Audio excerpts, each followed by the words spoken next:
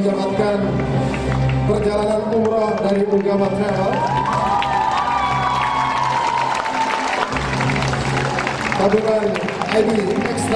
I never thought I would be uh, win this competition because at first I just see an opportunity for us to bring ourselves to the world and tell them that hijab is not a barrier. I never envisioned that I would ever win this competition, but I thank Almighty Allah. I feel good.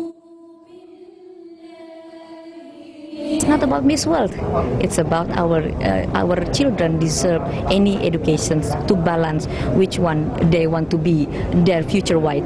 Uh, the one who who expose the sexual appeal or the one who who put the pious, the intellectuality and the spirituality as the as the as is going to be the future wife of them.